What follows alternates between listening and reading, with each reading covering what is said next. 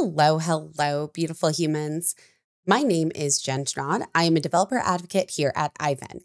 Today, I'll walk you through how to create users for your Postgres service via the Aiven console and in Postgres via pgAdmin.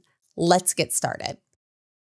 When talking about users, you have users that you can create on your Postgres service within Aiven, and they have access to that, or within pgAdmin just into the database. We'll go into both. First, once you're logged into your Aiven account, you'll be able to select the service you want to add a user to. Mine is Postgres Setup.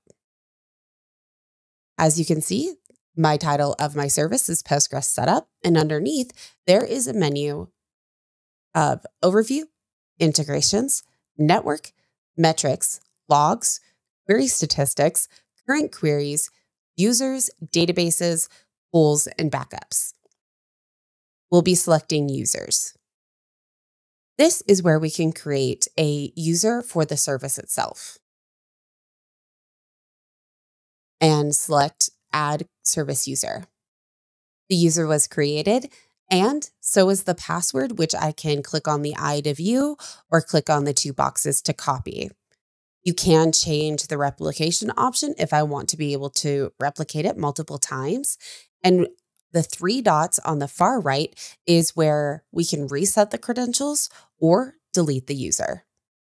Now to set up users in pgAdmin. On the left menu, you'll be able to see your server groups.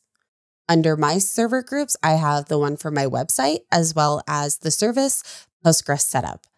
I'll click the down arrow there. And within that, we'll see our databases, but also login groups and roles. Clicking there, I'll be able to see the different login and groups set up, and I can right click, click create, login group role.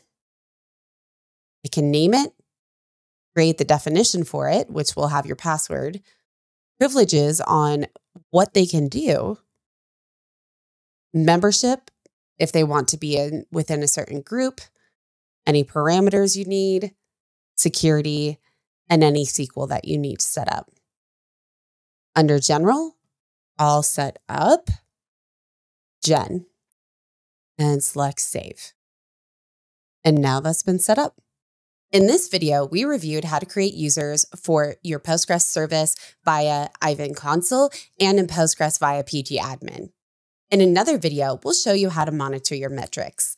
If you enjoyed this video, please make sure to like and subscribe to Aiven. Bye!